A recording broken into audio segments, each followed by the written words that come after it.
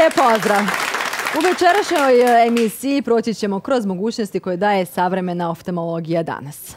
Nekada se sanja o tome da se skinu naočale, da pogled bljesne oštrinom vida, a sada je to već u veliko stvarnost. Kakve su to mogućnosti koje daje refraktivna hirurgija danas, vidjet ćemo kroz malu edukaciju iz specijalne bolnice Sveti vid. E, molim vas pozdraviti naše prve goste, oni su otac i sin, Slavoljub i Ratomir Tešić, dolaze nam iz Krnjavora. Dobro došli. Evo, u vašoj porodici, onaj koji je imao problema sa vidom jeste sin, je li tako? Da. Kada su se javili kod vas prvi problemi? Ko je primijetio ili možda upravo otac? Pa prije 3-4 godine sam primijetio sasvim slučajno da ne vidim isto na lijevo i desno oko. To sam prenio roditeljima, posjetili smo moga ljekara i to on je izašao s predlogom da to nije ništa strašno, pošto sam tad bio veoma mlad a dioptra je bila minus 0,75, to nije ništa bilo strašno. Međutim, s vremenom dioptra je mirovala, ali vidi je konstantno opadu. Ponovo smo otišli kod doktora, on je onda izašao s predlogom da uzmemo sočivo, koristio sam to sočivo možda jedno mjesec dana, međutim ono nije ništa pomagalo. Tako da kad smo otišli na sljedeću kontrolu, da smo, među vremenom smo se dogovorili s roditeljima da bi to riješilo operativnim putom, pošto otac već ima dugo godina problema sa tim kada smo došli kod njega i izišli smo s tim prilogom, on se složio sa tim da je to u redu, da nije ništa loše, da će biti uspješno, vjerovatno, i da ne treba nikakve pomagala da nosim niti sočivo, niti naočale. Međutim, kroz 3-4 godine dok sam ja postao punoljetan, vid je opadao i opadao i lijevo koje je bilo potpuno ispravno i ono, međutim, na njemu je vid slabio. Tako da umeđu vremenu na desno oko mi je vid opao oko 40%, na lijevo možda oko 15-20%. E, interesantno mi je to da ste upravo sami primijetili, pogotovo na početku kada ta dioptrija nije bila previsoka. E, na koji način ste vi to primijetili? Pa to je bilo čisto igrom slučaja. Gledanje malo na lijevo pa na desno oko, vidi se razlika da nije isto.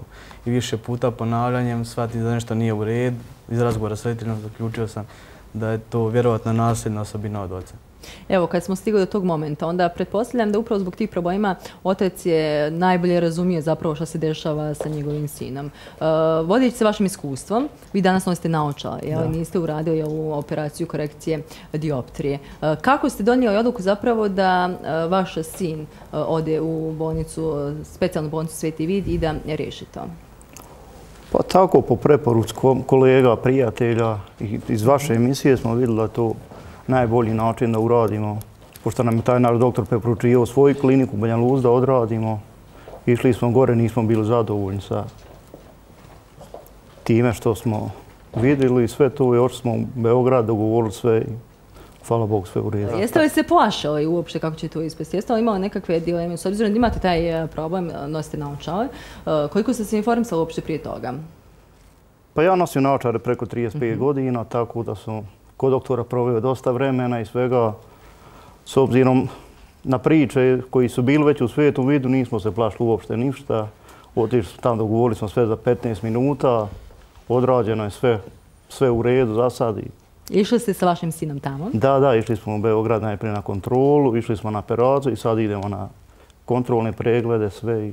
Evo, ja vam želim da ta kontrola naredna prođe baš kako je treba. No, prije toga, jeste osjetili odmah nakon operacije tu razliku? Primijetilo se s vremenom svakim danom se dolazilo do izražaja, posebno nakon prvog kontrolnog pregleda kad sam skinuo ta začetna sočiva, ogromna razlika je bila prisutna. Dakle, danas nema ni sočiva, ni naočaran. Danas nema ništa, hvala Bogu, zahvaljujući uspješnost operacije, ne, ništa ne koristim. Drago mi je, hvala lijepa porodico Tešić. Želim vam sve najljepše. E, s obzirom da je slična problematika, odmah ćemo pozvati naše narodne goste, pa će tek onda naša doktorica prokomentarsati oba slučaja. E, evo, ovdje smo upoznali tatu i sina, sada dolazi nam u goste mama sa svojim kćeri. Molim vas pozdravite Slađenu i Mariju Klačar. Dobro došli. Slažena, vaša kćer je 2007. godište, dolazite nam spala. E, ovdje je drugačija problematika. E, vaše djete je mnogo mlađe od našeg prvog gosta. Kada ste vi zapravo, prepostavljam da vam nije djevojčica mogla sama reći, već da ste sami zapazali da nešto nije u redu. Da, malo je neobično da djete samo primijeti da ima problem sa vidom. Kod nje se to pojavilo e, nekoliko dana prije petog rođendana. Mislim, ona je to primijetila nekoliko dana prije petog rođendana. Ovaj, e, primijetila je da ne vidi dobro na lijevo oko. Eto da kažem, svima neka koristi od crtanih filmova. Gledala je taj dan neki crtani film sa gusarima i onda se poslije toga igrala. Pokrivajući čas jedan čas drugo oko, primijetila je da ne vidi jednako na oba dva oka. I to mi je bilo onako baš strašno kad mi je rekla, e, pokrila je desno oko i rekla je, ja sam je pitala koliko vidi, ne znam, prstića ili ovako nešto. I pitala sam je šta vidi na meni. I ona je rekla, i to je baš onako strašan moment bio za mene, rekla je kao pa, ne, zamogljena si, znam da si to ti mama, ali si mi jako zamogljena. I to mi je baš bilo strašno, nisam mogla da vjerujem da je toliko vid slab, a da do tog momenta uopšte niko od nas to nije primijetio. Ovaj, naravno, mi smo odmah otišli, uh, otišli smo kod našeg lokalnog oftalmologa. Uh, e, doktorica nam je saopštila da dijete vidi samo 10% na lijevo oko i ona se šokirala da je to slučaj sa tako malim djetetom. I naravno, mi smo odmah, prvi termin koji je bio na klinici Svijeti vid, mi smo se odmah najavili i otišli smo. I, i ta dijagnoza je tamo i potvrđena. E, nakon toga ona je, e, pre, preporuka doktorice je bila e, da pokušamo da korigujemo koliko toliko vid na lijevom oku nosjeći naočare. To lijevo oko je bilo skoro plus šest dioptrija i baš je bilo onako strašno. Djevojčica je nosila naočare, znači to staklo je bilo baš onako debelo i, i onako malo je to strašno izgledalo na maloj djevojčici.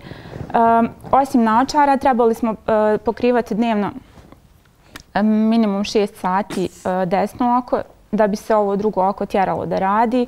Jer je prosto, tako nam je ljekar objasnio, e, da pošto lijevo oko nije bilo u funkciji u potpunosti, e, mozak je sve te aktivnosti prenio na desno oko. Mhm. Tako da se ovo lijevo, osim što je bilo u lošijem stanju, ona se postepeno gasilo jer je prosto tu funkciju preuzimalo drugo oko. I poslije nekih 5-6 mjeseci te terapije, prosto ljekari su primijetili da taj napredak mhm. koji Znači, pojavio se napredak, ali prosto nije bilo to dovoljno da bi mi očekivalo sad neke uh, izvanredne rezultate. Doktorica na kraju preporučila lasersku korekciju, što smo mi naravno prihvatili. Ovaj, s obzirom na to da smo mi već na tu situaciju bili od samog početka, uh, od samog susreta sa tim problemom, bili smo pripremljeni na tu mogućnost i nju smo naravno odmah pripremili na tu mogućnost, tako da ona već uh, tih nekih 5-6 mjeseci otprilike pretpostavljala da će se to na kraju i dogoditi. Kako je podnijela to? Pa, kao što vidite, Marija je jedna jako nestašna djevojčica. Ovaj, I ona je onako prilično razmažena i vrlo se lako rasplače kad je onako krivo pogledate. Ali kad su ozbiljne stvari u pitanju, ona je nas sve onako oduševila. E, Kada je Maša imala operaciju, ja sam u tom periodu bila u šestom mjesecu trudnoće i e, zaista nisam se smjela mnogo stikirati niti zbog jednog, niti zbog drugog djeteta. A ovaj, željela sam prosto, e, i ja i, i moj suprug, željeli smo Mariji da pokažemo da ta operacija u suštini jeste najnormalnija stvar koja će uslijediti da bi ona mogla da vidi jednako dobro na oba dva oka. I ona jednostavno su tako prihvatila kao da ima 25, a ne 5 godina. Otišla je na operaciju bez jedne suze. Mislim, samo mi je mahnula onako kada su je ljekari odnijeli tamo u operacijonu salu i to je bilo za nju najnormalnije iskustvo. Tako da je onako baš nevjerovatno kad priča, i meni je sad nevjerovatno kad se prisjetim da je baš tako sve prošlo lagano, ali Evo, upitat ćemo Ona nije, nije tako neozbiljna kao što sada izgleda.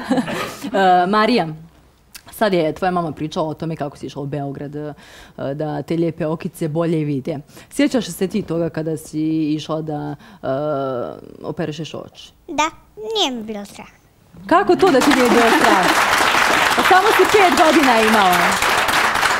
Jel se još igraš gusara, još gledaš crtane? Gusar ne, crtani da. Dobro. E, jel vi primijetite danas na nju neku razliku? Pa e, ona, ona voli tako e, i dan danas da vježba, da prosto provjerava svoj vid i ona nekad tako izleti iz svoje sobe sva srećna i kaže mama ja sad vidim mnogo bolje. Ona je to onako baš slatko, ovaj, ali nedavno su bili na kontroli, ona i suprug i e, konačno e, se pokazalo da je ta operacija e, imala značajan efekat, s obzirom na to da su nama ljekari objasnili da nakon te laserske korekcije ne možete očekivati odmah napredak. Ne možete očekivati da preko noći dijete sad odjednom vidi savršeno. E, objasnili su nam da e, taj oporavak traje čak do godinu dana, da može se desiti da recimo dođete na kontrolu pa poslije mjesec dana da dijete vidi slabije, pa na narednu kontrolu bolje, pa opet da se to pogorša. Znači, prosto variacije se dešavaju.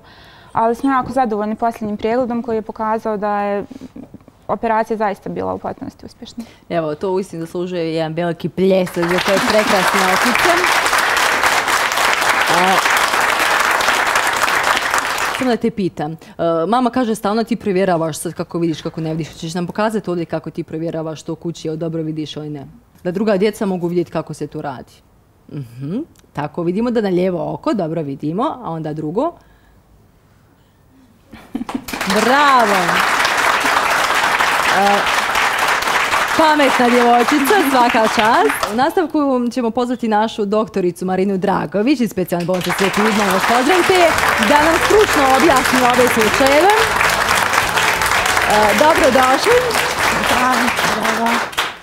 Evo, čuli smo tu dvije priče Marina. E, Da vidimo što im je zajedničko, što je različito. Pa evo, ja ovo malo pre je bila baš prava škola Mhm. oftalmologije, kako se sa decom treba igrati, možda ta igra gusara, prava stvar da se rano otkrije pošto ne postoje rani oftalmološki pregledi, onda je ovo sjajna stvar da dete sa roditeljima otkriva problem u početku. Da, priča je slična, radi se o takozvanoj anizometropiji, odnosno razlici dioptrije na oba oka, e, pri čemu postoji nekomfor u standardnim korekcijama naočarima ili kontaktnim sočivom. U prvom slučaju kod Ratomire postoje veliki cilindar pa nije bilo komfortno rješenje nositi kontaktno sočivo, zato on nije istrajao u tome. Sa naočarima je to također bilo prilično teško rešiti i ovaj, pri dolasku kod nas trebalo je vidjeti e, E, obzirom na godine e, u kojima je, jel, to je nekih 18 godina, prvi put dolazi da koriguje dioptriju. Uvek se postavlja pitanje slabovidosti, koliko je ta slabovidost, tako da naočare da e, koje smo dali jesu nama neki putokaz da li ima smisla razmišljati o refrativnoj hirurgiji ili bi ona bila samo estetska, skinuti dioptriju, a ne dobiti ništa. Ovdje je svakako bilo nekog vidnog potencijala koga imalo smisla osloboditi, jer ipak to nošenje kontaktnog sočive koliko toliko malo iskorigovalo vid, tako da svakako laserska korekcija je jedno definitivno rešenje. U svakom slučaju dioptrija je skinuta, ali sa istim ovim zahvatom da je urađeno ranije, dobilo bi se mnogo više na vidnoj oštrini nego sa 18 godina. Dakle, na pitanje šta se dešava i da li treba čekati do 18. godine, odgovor jeste da u nekim situacijama kada postignete efekat naočarima ili kontaktnim sočivom, ali ako dete ne može da koriguje, ne možete ga osuditi na večnu slabovidost, morate dati rešenje. Kod Malecki je upravo to rešenje dato blagovremeno, upravo u pravom momentu, otkriveno je na vreme, Ona je dobila već nakon e, intervencije nekoliko mjeseci već značajno 20-30% na vidnoj oštrini. Jedno oko je savršeno u redu, na drugom oku je postojala ta visoka dioptrija. Tu bi bilo nemoguće ići sa kontaktnim sočivom kod malog deteta, bila bi velika muka sprovesti to. Dakle, nakon uklanjanja dioptrije sledi okluzivna terapija, odnosno ta igra gusara, zatvaranje na desnom oku koje je dobro i forsiranje da levim okom vidi. Mi smo na tome insistirali da i dalje, sada mnogo lakše jer nema naočara, jel tako, a naočare bi bile samo delom rešenje. Dakle, da se sada, kada je izoštren vid, dete forsira da što više koristi to levo slabo slabovido oko i svakako da će za još koju godinu ova vidna funkcija biti mnogo bolja. Prema tome, zadatak laserske korekcije nije samo estetika, skinuti zavisnost, odnosno skinuti naočare i lakše u životu prolaziti bez ove vrste zavisnosti, već ovdje laser jeste primenjen terapeutski kako bismo oslobodili funkciju vida kod ovih e, mladih ljudi. Evo, naučili smo neke nove stvari. E, hvala lijepa doktorice. E, u nastavku još jedna porodica sa nama. E, Dolaze nam mama Mirela, tata Jovo i sin Stefan Nagradić. Dobrodošli.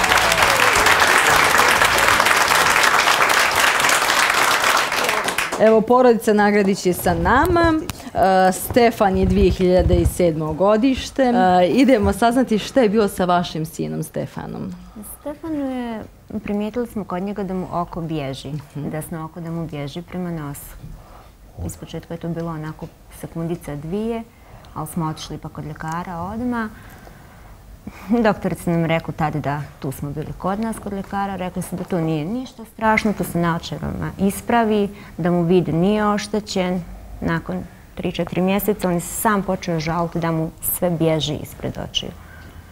E onda smo po vašoj emisiji, po preporukama znači čuli za sveti vid, otišli smo tamo, dobio je naočare i zatvarali su mu zdravo oko, da bi to bolesno oko što više radila, da bi što više gledao na to oko. Dioptrija je počela rast. Nakon četiri mjeseca smo ponovo bili na kontroli, onda se nam preporučila operaciju. Pristali smo. Stefan je bio oduševljen, što će ponovo moći da vidi. Kako mama i tata, kako roditelji reaguju u toj situaciji i naravno što kada donijeti odluku da li operisati e, uh, malo dijete? Pa znate, u početku je bilo vrlo, vrlo teško. Na preporuke svih ovdje ljekara mi smo sve pokušavali da prođe bez toga. Međutim, on je otišao prvi put u Beograd, tu je pregledan i stavljeni smo, data mu je dioptrija, znači različita. Znači, e, vremenom smo trebali da idemo na kontrolu, međutim, pozad svoj svijetog vida e, možda 15 dana prije kontrole sa namjerom rekli su nam da bi profesor Rosipa bio zainteresan da pregleda Stefana. U stvar, da, došli smo, e, došli smo u Beograd, mi smo prihvatili to, došli smo i profesor nam je rekao da se to može riješi zahvatom. E, prvo pitanje, pitali ste kako se reaguje. Prvo pitanje je bilo kakvi su rizici. Međutim, profesor me ubjedio tada da rizik ne postoji. Mi smo tada prihvatili, zakazali smo operaciju, došli smo u februar i riješili smo to, hvala Bogu, sasvim ovo. Drago mi da je dobar rezultat. Kako se on ponaša sada u kući? Da li vi primijetite u njegovom ponašanju da je možda slobodniji u igri, u pokretu? Pa on je sada sasvim normalni, znate. On je iz početka gledao je često televizor. Dođe ispred televizora, primakne se i mi ga vratimo. Znači, kažemo da se makne, Ako mi, mi kažemo da se makne, on tada prekine to da ode nekim drugim putem, vjero više uopšte ne gleda televizor. Znači jednostavno nije, a sad on sasvim normalno funkcioniše. Stefane, hoćeš popričati malo s nama? Kako danas vidiš? Dobro. Dobro! Bravo! Jesi krenuo u školu? Ješ. Vidiš sve prepisati sa taboj što učiteljica napiše? Vidim. Bravo, ti si veliki dobri dječak. Uh, idemo saznati stručno mišljenje šta se ovdje dogodilo. Jesu li pravo vremeno roditelji reagovali? Pa evo vidite, ovdje je bilo otkriveno putem otkrivanja skretanja oka. Zapravo se radilo o akomodativnom strebizmu koji je verovatno bio potenciran time, potenciran time što dete nije dobilo ni dobre naočare. Tako da je trebalo prvo videti da li bi se odgovarajućom pravilnom korekcijom postigao taj paralelan položaj očiju i ovaj, nakon praćenja se ispostavilo da se to postiže, to je automatski vodilo ka rešenju, to je laserska korekcija. Dakle, ideja je bila da se skine dioptrija laserom i da se ne radi operacija strabizma ima situacija kada se promaši ovaj moment i kada dete nema blagovremenu korekciju, tako da u kasnim godinama da su se roditelji pojavili, onda bi najverovatnije morali da radimo i korekciju dioptrije i operaciju strabizma. Ovdje je bilo potpuno čista situacija da se radilo o akomodativnom strabizmu. Dakle, to je ovaj, situacija kada detetu zbog nedovoljne, neadekvatne korekcije skreće oko. I ako ispravite, ako dobro korigujete vid, date dobru štrinu vida, automatski će se eh, eliminisati taj moment jake akomodacije, oslobodit će se akomodacija i dete će imati i paralelan položaj očiju. Tako da za razliku od ove prethodne dve situacije gdje smo imali razliku dioptrije kao indikacija broj 1 za laser, ovo je druga situacija kada se e, primenjuje laserska operacija kojom se rešava ne samo dioptrijski problem, nego i paralelan položaj očiju. E, često je pitanje i oftalmologa i roditelja šta će biti dalje sa rastom deteta, da li će se menjati dioptrija. Dioptrija kod deteta uvek može da se menja, ali nije suština da ona uvijek bude nula. Suština je da u onom momentu razvoja vida dete dobro vidi, da vidi što oštrije, da, da neguje taj oštar vid, a ako se bude dioptrija promenila kasnije, nju onda možete po izboru korigovati naočarima, sočivom ili opet dodatak lasera, ali će to biti onda negovan 100% vid, a ne slabovidost, da je nekad kad se takvi slučajevi e, izgubljenog vremena pojave nakon 18 ili 20 godina, onda laser se nekad primeni samo čisto estetske, a bez dobitka na oštrini vida onda nema svrhe raditi. Hvala lijepa Marina, evo ko zna koji put e, vrijeme je bitno. E, hvala svim roditeljima i njihovoj djeci. Želim vam sve najljepše, da nema više ovakvih problema, da vaš vid bude uistinu na 100% pravi, e, da vaše djeca uživaju u svom djetinstvu. U nastavku slijede kratke poruke naših sponzora, a nakon reklama i druge životne priče. Ostanite u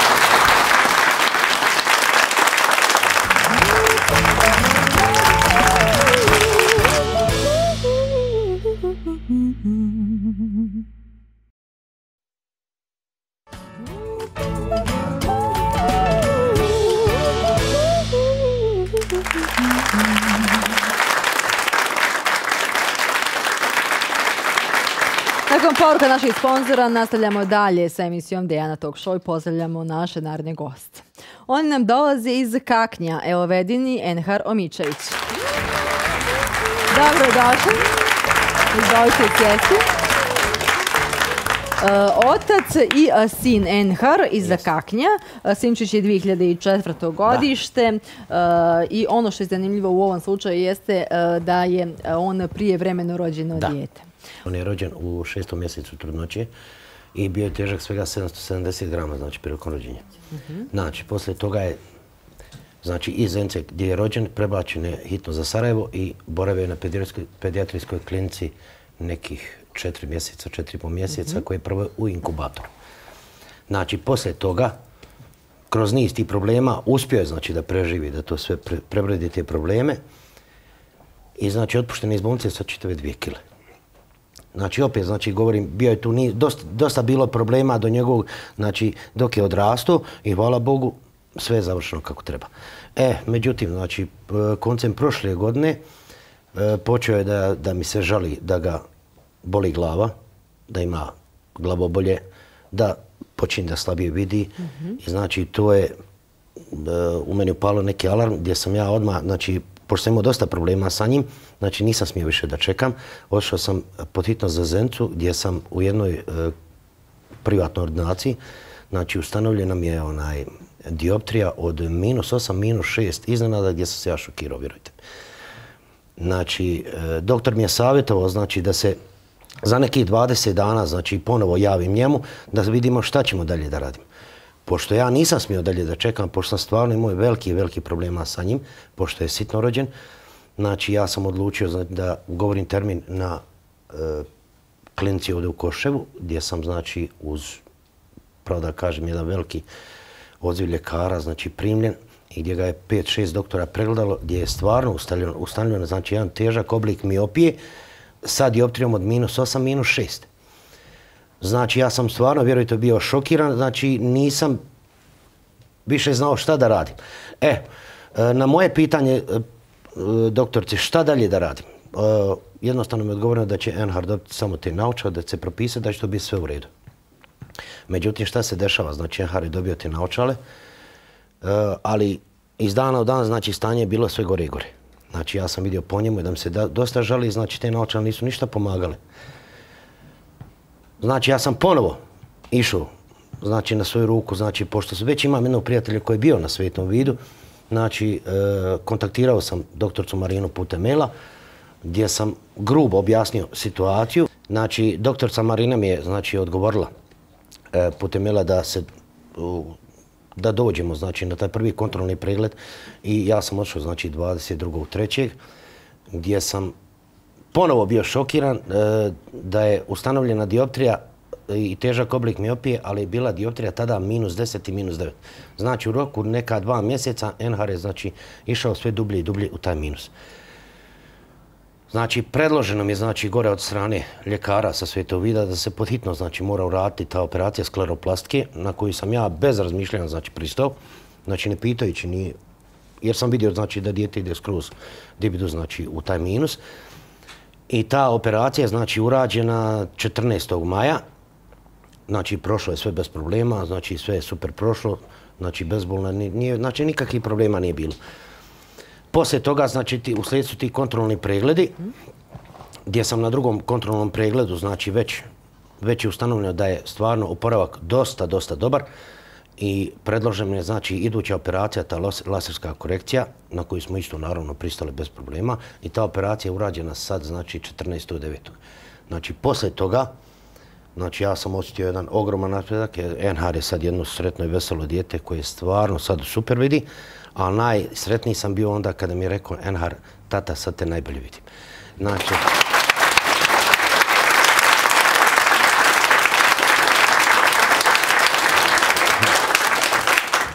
Znači, tako da sam, eto, znači, ti problemi su riješeni, znači, bez problema. Što se tiče samih ti operacija, znači ja nisam imao bojaz nikakve da će se nešto ružno desiti. I na kraju kreva, evo Henhar je tu, znači nema naočala, sad super vidi, dobar je, škola ide bez problema i to. Gospodine Ovedne, vi ste mi sjajno pričali. Vi ste mi sjajno. osjeti se ta ogromna ljubav prema sinu i da u istinu nije bilo pogovora da želite riješiti njegov problem, da ste e, odmah poduzeli sve što se može poduzeti. E, rekli ste evo, da on danas dobro vidi, mi ćemo to provjeriti sad s njim. Izvoli, možeš uzeti mikrofon sam. E, da te pitamo ovako. Tata kaže danas super vidiš. Je li to istina? Jest. Tata se uopšte nije plašio kad ste išli u Beograd na ove operacije. Jesi ti plašio? Ne. Tako, treba hrabar dječak.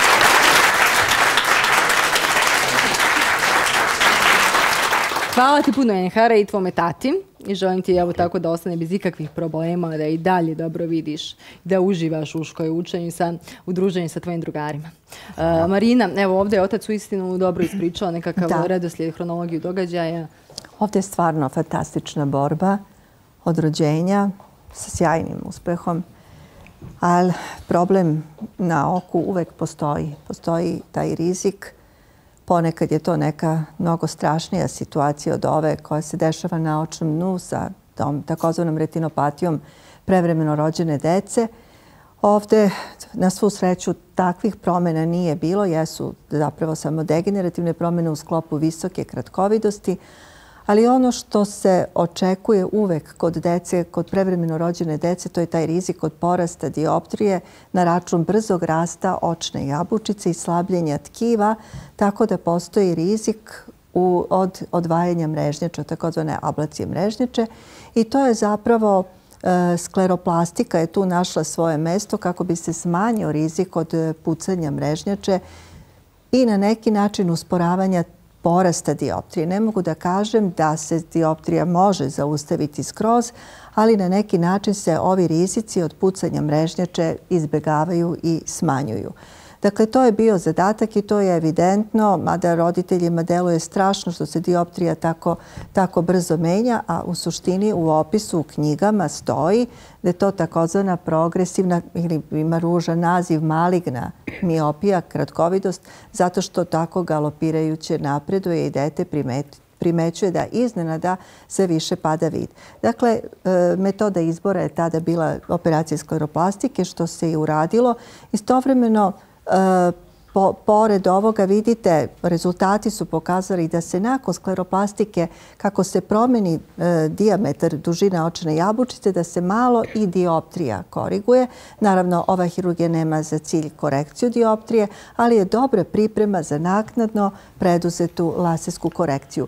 Kod dece se laserska korekcija pod obavezno radi u opštoj anesteziji, to se i ovog puta odradilo, bilo je besprekorno, bez ikakvih e, problema i kao što vidite oporavak i ovaj ishod laserske korekcije je upravo top dobar rezultat i oslobađanje funkcije vida. Ono što je bitno kod dece, kod deca će rasti tako da se može očekivati u daljem praćenju, sad je tek završena, nedavno završena intervencija, u daljem rastu deteta moguće je očekivati i mali rast dioptrije, ali to neće biti tako enormna dioptrija, to će biti neka mala dioptrija koju je moguće korigovati naočarima ili eventualno kontaktnim sočivom jer dete će onda biti i starije. Bitno je da sada, znači sa školskim danima, da se to lepo može uklopiti u kolektiv i savladavati gradivo sa dobrom funkcijom vida. Baš tako. Hvala vam lijepa. I evo Bežinu i kao i vama. U nastavku e, nam dolazi naš naredni gost koji će sam ovoga puta pričati zapravo šta se sve događa oko njega. On ima 23 godine, dolazi iz Srebrenika i po zanimanju je automehaničar. Hašim Ramić. Dobro Evo, ja sam sve lijepo ispričao 23 godine, srebrenik, automehaničar, još samo ne znam kakve ste vi probleme se vidim imali, a o tome ćete vi. Pa sad dvije i pol godine su roditelji primijetili da ne vidim.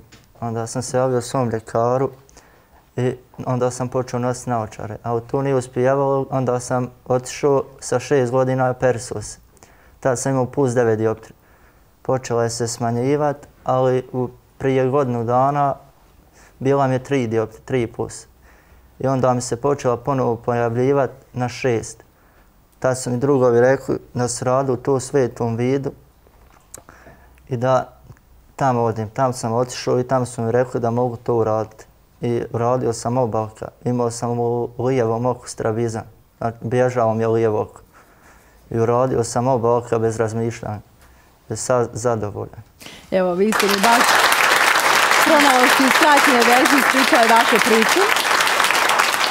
S obzirom da ste cijelog života imali problema sa očima od druge godine, e, recite mi e, kako ste djelovali, kako ste pa radili? Je li vam smetao u tim nekim svakodnevnim Pa teško, svemo si određen, ne možeš sve raditi, onda teško je to non stop skidaš, brišeš, nije to... Danas vidim da ne nosite naočale. Ne. Znači nema potrebe uopšte za nikakvim pomagalom. Danas sam zadovoljan. Uh, hvala vam lijepa. Evo, želim se najljepše istine. Da kvaliteta života bude sve bolja i bolja, sada kada dobro vidite. Marina. Pa evo ovdje je u suštini e, osnovna stvar implantacija s posebnog sočiva koje koriguje ovako visoku dioptriju. Zapravo se radi o vrlo visokoj dioptriji koja se ispoljava u kompletnom oftalmološkom pregledu koji podrazumeva takozvanu mhm. cikloplegiju ali ajde, ostaćemo sa jednostavnim izrazima. Je tako? Znači, pregled na široku zenicu e, da bi se kompletna dioptrija koja može biti skrivena i koja može dovesti do provociranja skretanja oka, jer u ovom slučaju jeste bio istrabizam, da bi se videlo koliko zapravo to oko dioptrije može da primi. Dakle, dioptrijski opseg je bio previsok za laser, laserom ne bismo mogli korigovati celu dioptriju, tako da je jedina mogućnost bila implantacija specijalnog sočiva koje koriguje visoke, visoke dioptrije u plusu, ovo je slučaj i sa plusom, međutim, postoji mogućnosti korigovanja visokih e, cilindara, dakle astigmatizma i kratkovidosti, vrlo visoke kratkovidosti koja, koju je nemoguće rešiti laserom ako debljina roždječe nije adekvatna. Dakle, to se sve procenjuje oftalmološkim pregledom i bira odgovarajuća procedura za svakog pacijenta po naosob. E, ovo što je bilo u detinstvu mhm. operisano, to je bilo skretanje oka, ali je problem korigovanja, neadekvatno korigovanja dioptrije ostao zato što je previsoka i za naočare i teško je nositi tolike debela stakla jer jesu jedno veliko opterećenje i za sobom ostavlja određeni stepen ovaj, slabovidosti. Šta je suština kod ovih implanata? Suština je u tome da se kod mladih osoba ne dira sobstveno sočivo koje služi i dalje funkciju akomodacije, odnosno oštrog vida na blizu, ali se koriguje u potpunosti dioptrija na daljinu, tako da kod ovih mladih osoba, dakle fakno, takozvano fakno, intraokularno sočivo, rešava ove visoke dioptrije. E, hvala vam lijepa. U nastavku dolazi naš narni gost. On je iz Laktaša, radi kao profesionalni vozač u Švicarskoj. Gospodin Duško Nikolić. Izvolite.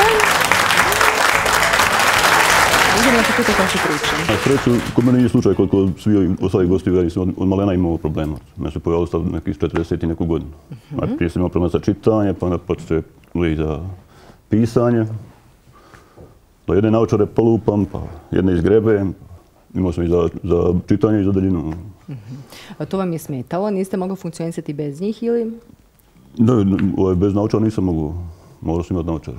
Za daljinu nije toliko smetalo, ali za čitanje, pisanje, formulare, ispunjavati to papirologiju. Kako ste evo odlučili da uradite pa, preko interneta sam našao stranicu Svetog vida, pa sam bio u maju na fair, pa sam zvao, pa sam mi rekla da moram do dva mjeseca prije nešto dojem se odlučim za operaciju, doći na pregled dva mjeseca ovaj, pregled važi. Tad sam zvao i Švicarsku, govorio termin 30. septembra, sam imao termin za pregled, taj pripremni. I bufa 25. oktobra sam operisao oba oko odjednom. Danas se ne vidim da ste donijeli neke naočale ovdje u emisiju. Ne, ne, znači... naočale sam skinuo taj dan, odmah sam u arhivu i stavio. znači sad nema nikakvih više problema? Bufa, da sad ne. Dobro. ja sam još frišak me sad tri sedmice kako sam radio operaciju. Hvala vam lijepa. Gospodin rješavanje prezbiopije, tu više nema problema.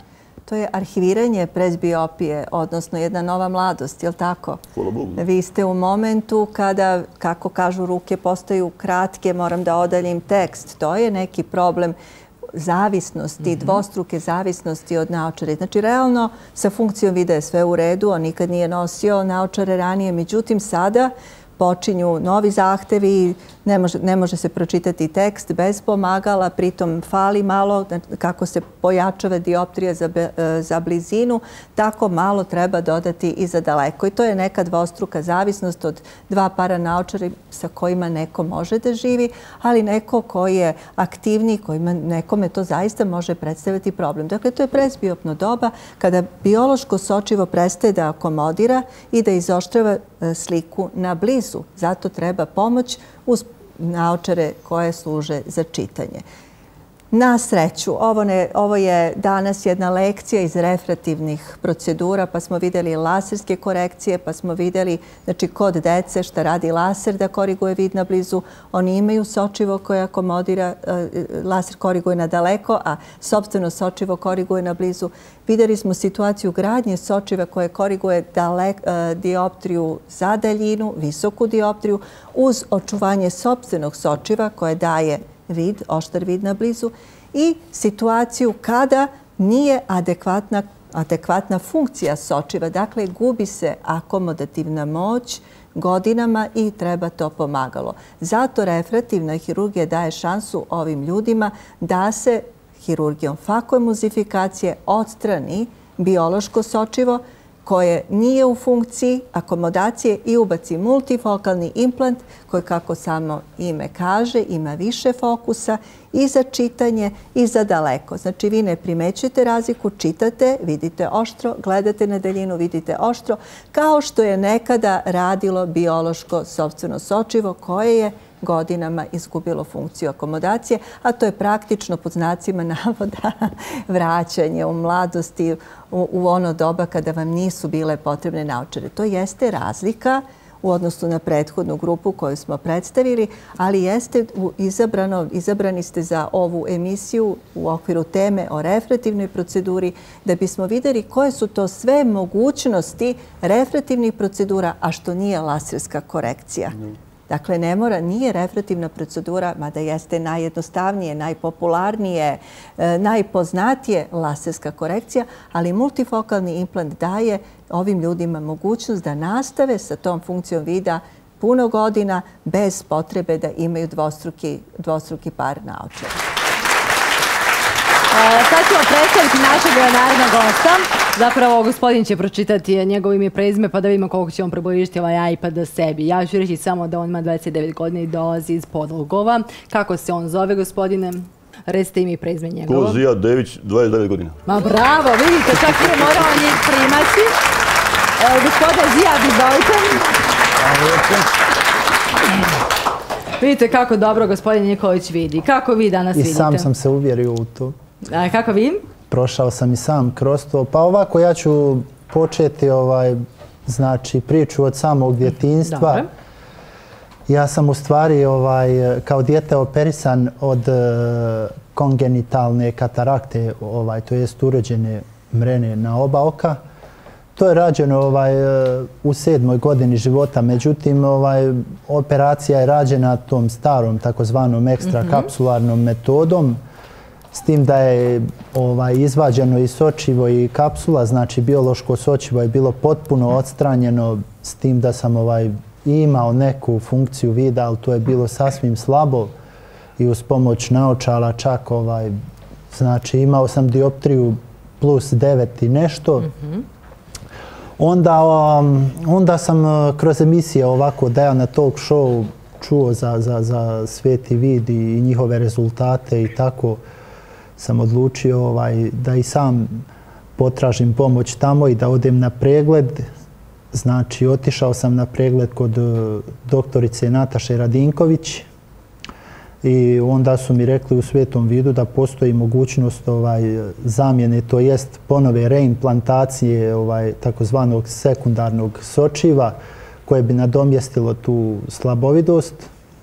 Prije je bilo vrlo teško, znači bio sam vrlo ograničen i, i u svemu i šta znam, ovaj, sa vidom, jako, jako, jako sam slabo vidio, znači ovaj, sad recimo nisam vidio čitat, onda kad sam operisan ono, vidio sam čitat, ali to je bilo jako teško, znači ona manja slova nisam mogao da čitam i, i tako to. Međutim, sad posle operacije vid na daljinu, znači ono što, ono što je ovaj primjetno je to da je vid na daljinu fantastičan, znači rezultati su super, ja sam vrlo zadovoljan, ovaj, mislim vidim čitati i na blizinu mogu da čitam nisam ovisan o naučalama nekim i tako. Dakle, mnogo bolje.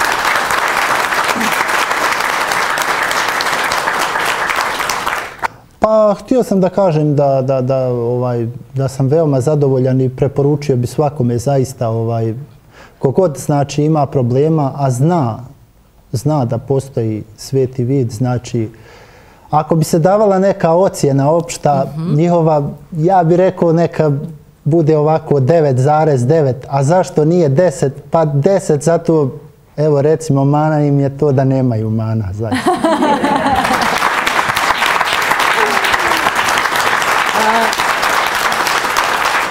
Ja ne znam kakvi ste prije operacije Zijade bili, ali danas ste samouvjereni, duhoviti, šarmantni. Pa, hvala. Marina, hoćemo čuti stručni ja komentar. Ja sam fascinirana ovaj pričom i shvatanjem problematike Mislim da dobar deo lekara možda tako dobro ne zna ovu problematiku. Jeste, suštinski je sve rečeno. Zapravo se radilo o toj sekundarnoj implantaciji nečega što je trebalo da bude sastavni deo operacije katarakte, kongenitalne mhm. katarakte mnogo davno, a pritom i e, urođena katarakta se operiše ranije, pre polaska u školu, da bi se razvio vid koji, kao što smo toliko puta ovde rekli, se razvija do polaska u školu i ovakva situacija će ostaviti veliki dioptrijski problem i slabovidost. Po pravilu operacije katarakte kod dece se radi Dakle, isto fakoemulsifikacija kao i kod odraslih sa implantom, kao i kod odraslih.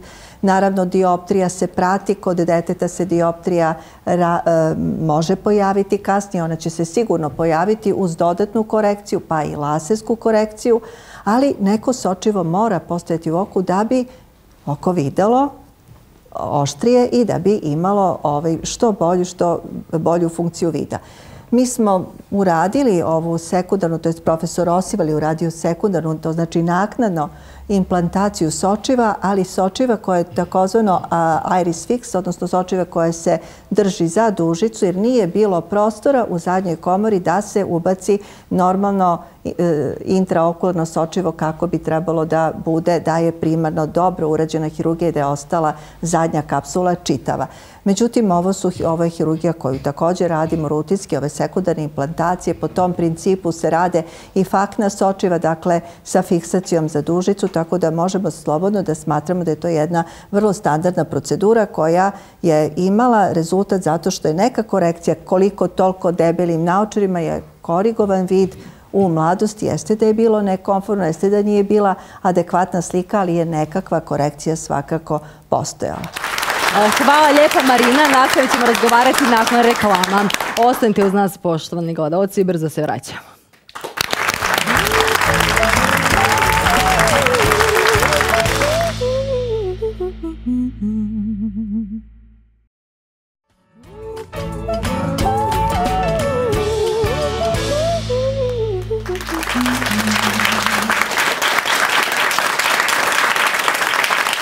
Ponovo smo zajedno. Za vrijeme poruka naših sponzora naša publika dobila pregodne darove. Ovoga puta Max Energizing se pobrinuo za darove.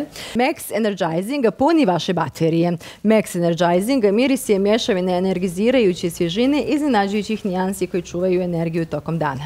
Uživajte u sunčevoj svjetlosti, uhvaćenoj u bočici kreirenoj za optimistične ljude koji uživaju u svemu što dan nosi. Dakle, Max Energizing za našu publiku. E, u nastavku Dejana Talk Show-a e, slijedi anketa. Idemo vidjeti zapravo što naši građani misle o ovoj temi.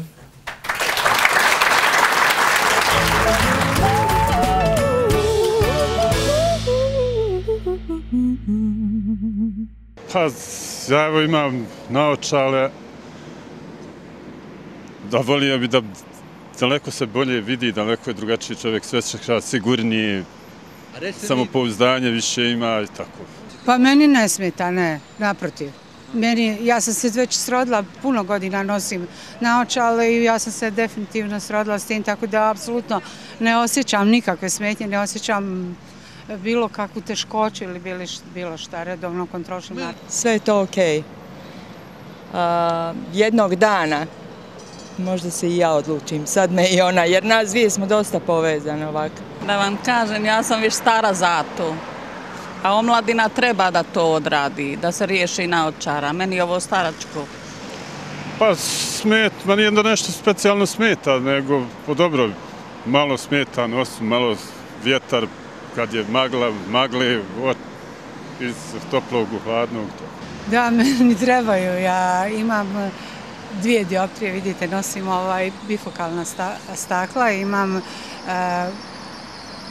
potrebu da nosim, ali možda je pametnije uraditi to što, e, šta ja znam, spriječe, zapravo vrati vam vidu u normalu sa operacijom tom lasarskom, kako to već ide, ne znam, ali ovaj, mislim da je to još uvijek teško dostupno običnom svijetu. Jesam, ali to zahtjevam da dalje, da, da mi ne smije ništa upast u oko, tako dalje, ne smijem imati nikakvog kontakta, pa ne bih želio, ali pošto mi ne smeta nošenje, u redu je sve. Pa mene ne smeta, ali možda jednog dana odlučim jednostavno, ono, prije sam imala za daljinu, za blizinu, dvoje, troje, ove su mi jedno, sve.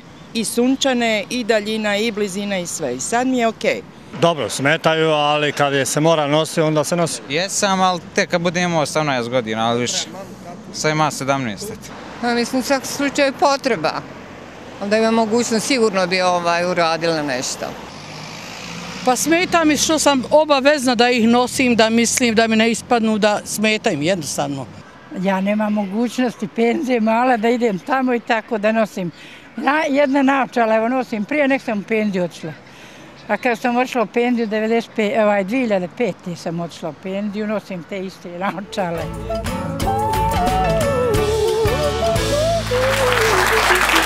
Evo, šta. Evo, što kažu naši građani. Marina, idemo komentar ankete i još jednom napomenuti e, naše gledalce da humanitarna akcija televizije OBN i specijalne bolnice Svijeti vid važi i za ovu 2013-2014 godinu. Jeste, svakako ćemo opet pomoći deci da se reši problem slabovidosti korekcijom dioptrije laserom. Pretežno će to biti deca preškolskog uzrasta. Dakle, dok imamo šanse da se razvije vid, da pomognemo da odgajimo jednu e, generaciju mladih ljudi sa dobrom vidnom funkcijom. Što se tiče ove ankete, pa ja mislim da ova naša emisija danas zaista predstavlja jednu malu školu oftalmologije gde smo e, pokazali i primere kada se laser radi pre 18. godine, znači daleko pre u predškolskom uzrastu e, sa terapijskim sa ciljem da se koriguje dioptrija da bi dete imalo što bolji vid, a ne sa ciljem da se skidaju naočare. Dakle, e, čekanje do 18. godine, da ne ponavljam, to je svakako negdje moguće, gdje imate dobar vid, možete nositi naočare, ne morate skidati ni u 18, ni u 28, ni u 38. Ako se sa naočarima postiže dobra funkcija vida, ako ne, onda ne možete slegnuti ramenima i reći, ok, mama, znate, vaše dete će biti slabovido, mi ništa ne možemo da uradimo. E, upravo ovo jeste tema emisije refraktivna kirurgija, mogućnosti danas E, mogućnosti za pacijenti i novi izazovi za nas da omogućemo ovim ljudima da upravo reše onda kada problem postoji. Ako se koriguje naočarima, tu nema problema. Ali mi pomažemo ljudima koji sa decom zaista imaju problem jer je to pitanje nemogućnosti socijalizacije. Zamislite decu koja su prevremeno rođena, koji imaju puno bitke da bi druge životne, životne, vitalne funkcije bile kako treba i još opterećenje u vidnoj funkciji. Dakle, korekcije vida ovoj deci omogućava dalju socijalizaciju i korigovanje drugih e, e rad sa njima ili fizikalna terapija. Dakle, sve ono što treba i što je lakše sprovoditi uz dobru vidnu funkciju. Prema tome ne možete reći ništa mi ne možemo da uradimo. Roditelji onda ostaju bez pomoći. Dakle, laserska korekcija kod odraslih postoji kao moment izbora ako hoću naočar, ako hoću sočivo ili ne mogu da se snalazim sa naočarima, hoću lasersku korekciju, ako dece onda kada se mora. Druga varijanta, druga mogućnost refraktivne hirurgije jeste visoka dioptrija i nedostaci korekcije naočarima ili sočivom kad je visoka dioptrija u pitanju. To je onda mogućnost opet hiruška, znači ne laserska, nego hiruška korekcija odgovarajućim ubacivanjem u oko odgovarajućih implanata, dakle intraokularnih sočiva koja tu zauvek ostaju, pri čemu se najbolje rešava problem visoke dioptrije u plusu ili visokog minusa. Problem ljudi koji nose dvostruke e, dva para naočara za blizu i daleko jeste, vidjeli ste primjer, izbor multifokalna multifokalni implant, znači intraokularno sočivo koje će imati više fokusa na blizu, srednja distanca i na daleko, pri čemu se lišava zavisnost, zavisnosti od dvostruk para naočari. Ljudi koji su anketirani, neki su potpuno adaptirani, dakle to je populacija koja je potpuno adaptirana na naočari kojima apsolutno ne smeta. Dakle, e, u, u takvim su u funkciji, e, naočare jesu u funkciji zato što su životni zahtevi potpuno usklađeni sa nošenjem naočari. Međutim, ukoliko imate ljude koji su profesionalno izloženi većim zahvatima, većim zahtevima i koji ne mogu profesionalno da se iskažu zato što imaju dvostruku zavisnost od naočari, onda je ta populacija ljudi u problemu njima naočare ne mogu da reše problem, e zato je refraktivna hirurgija išla ka tom cilju da reši problem i ovih ljudi. Prema tome, ništa u medicini, ništa u oftalmologiji ne postoji samo po sebi zato što se nekome snilo da to tako bude, već zato što ima pred sobom grupu ljudi kojima ne može da reši problem, a mora da nađe rešenje. I na kraju sekundarna implantacija tada kada je nekada davno izostavljeno da se implantira sočivo, pa implant ovde u ovoj situaciji rešava i taj problem refrakcije. Hvala lijepa. Evo, puno informacija. Vi ne zaboravite, humanitarna akcija još uvijek traje. E, dakle, slobodno šaljite vaše prijeve. E, Biće humanitarne operacije za starije osobe koji imaju problem e, katarakte i naravno za slabovidu djecu. Zaručne riječi o ostalih naših gosti. Ukrenit ćemo od gospodine Elvedina. Pa je ovako, znači, zaboravio sam ja sad nek u postocima. Mhm. Na prvom, znači, pregledu u Beogradu ustanovljeno je, znači, da Enhar ima samo 20% svog vida. Znači, nakon par mjeseci svega NHR je vrid vraćen na preko 80 i nešto posto. Prema tome, moj savjet, kogod ima problema, izvolite za Beograd, nema problema. Hvala lijepa. Mnogo sreće vama dvojici. Hašime. Želio bi reći samo jedno. Kogod nosi naočar, neka ode u sveti vid, jer nek skinu, jer to je jedna velika obaveza. Hvala lijepa i vama. Duško. Ja ću su rekli, svi koji imaju mogućnost da se riješe naočar, da se riješi, jer velika je stvar bez naočara. Tačno. Hvala lijepa. Uh, I Zijad će nam završiti emisiju. Pa evo, dragi gledalci, ja bih rekao svakome ovako, kogod ima, znači, bilo koji problem sa, Mhm. sa, sa vidom, znači vid je najvažnija funkcija u, u, u, u organizmu svake jedinke i znači idite sa pogledom, sa boljim pogledom kroz svijet, posjetite specijalnu bolnicu Sveti Vidi, riješite svoje probleme. Hvala lijepa i vama. Hvala svim mojim gostima, moje publici i vama poštovani gledalci što ste i ovoga puta bili uz nas.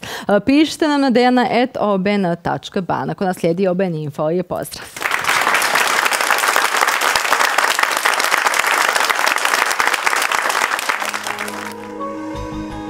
Specijalna bolnica Sveti Vid i OBN, humanitarna akcija u trajanju od godinu dana, mjesečno besplatna operacija za slabovidno dijete i stariju osobu s kataraktom. Način prijave vidite na ekranu.